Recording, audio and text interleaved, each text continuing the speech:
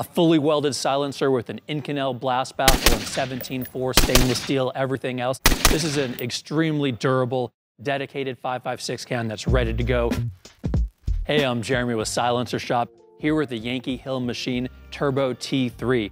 The T3 builds on the immense popularity of the Turbo T2. Yankee Hill has made a new baffle geometry that reduces back pressure, yet it's the same size, doesn't hurt sound suppression, and it doesn't hurt durability. The Turbo series has always been one of the best in the industry, and the T3 doesn't change that either. It comes with a Phantom Quick Detach system, either a flash hider or a brake. Also included in the box are the tools and shims necessary to time your adapter and do assembly, disassembly, and swapping of those adapters. The base is threaded in that industry standard hub system 1.375 by 24 size, so if you want to switch to a different mount, you can do that from a bunch of manufacturers. A fully welded silencer with an Inconel blast baffle and 17-4 stainless steel, everything else.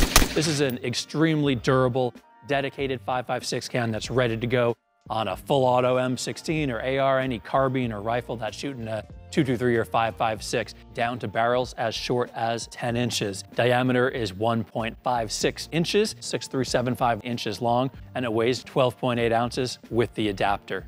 Machining on the T3 is really clean, as is the high temp black Cerakote. I do love how this uh, grip texture on the bottom is actually like 556 rounds shaped into it, and the end cap has some flash hider features as well. YHM has really earned their reputation for making fantastic silencers at a great value.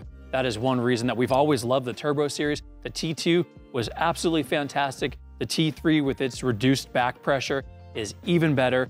We love it here at Silencer Shop. We know that you will love it as well. If you have any questions or comments on this or any other silencer, please leave it below. Thanks for watching.